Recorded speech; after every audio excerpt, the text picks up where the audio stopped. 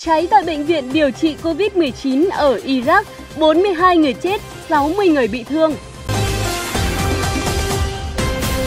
Theo hãng tin Reuters, vụ việc xảy ra trong ngày 12 tháng 7 tại bệnh viện Al-Hussein. Số người chết có thể sẽ còn tăng lên do nhiều bệnh nhân vẫn mất tích. Trong số những người tử vong có hai nhân viên y tế tại bệnh viện.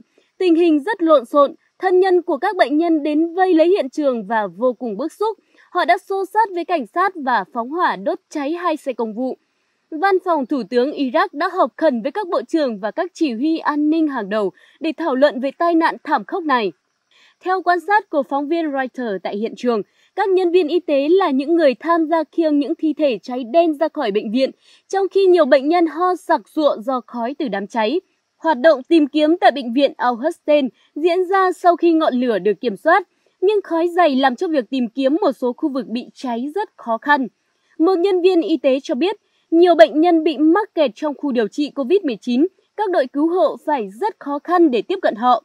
Theo thông tin ban đầu từ cảnh sát, có thể một vụ nổ bình oxy bên trong khu điều trị COVID-19 của bệnh viện là nguyên nhân gây ra hỏa hoạn. Vậy còn bạn, bạn nghĩ sao trước sự việc đáng tiếc này? Đừng quên để lại comment dưới video này nhé!